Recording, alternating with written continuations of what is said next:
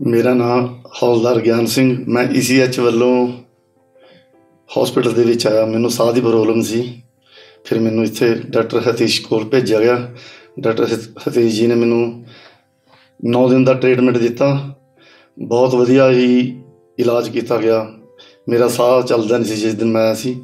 ਤੀਸਰੇ ਦਿਨ ਮੈਂ ਬਿਲਕੁਲ ਠੀਕ ਹੋਣ ਲੱਗਿਆ ਸੀ। ਤੇ ਬਾਕੀ ਨਰਸਿੰਗ ਸਟਾਫ ਨੇ ਮੇਰਾ ਬਹੁਤ ਖਿਆਲ ਰੱਖਿਆ।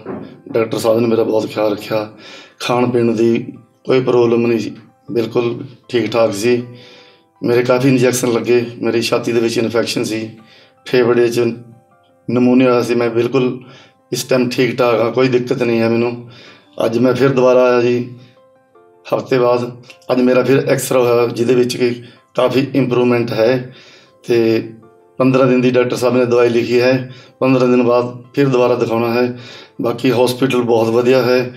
ਕੋਈ ਦਿੱਕਤ ਨਹੀਂ, ਬਹੁਤ ਜ਼ਿਆਦਾ ਵਧੀਆ ਖਿਆਲ ਰੱਖਿਆ ਜਾਂਦਾ ਹੈ ਜੀ ਇਸ ਹਸਪੀਟਲ ਦੇ ਵਿੱਚ। ਬਾਕੀ ਅਸੀਂ ਪਿੰਡ ਦੇ ਵਿੱਚ ਹੋਰ ਲੋਕਾਂ ਨੂੰ ਵੀ ਦੱਸਾਂਗੇ, ਇਸ ਹਸਪੀਟਲ ਦੇ ਵਿੱਚ ਹੀ ਆਉਣਾ, ਤੁਸੀਂ ਇਲਾਜ ਕਰਾਉਣ ਵਾਸਤੇ। ਇੱਥੇ ਬਹੁਤ ਜ਼ਿਆਦਾ ਕੇਅਰ ਹੁੰਦੀ ਹੈ ਜੀ।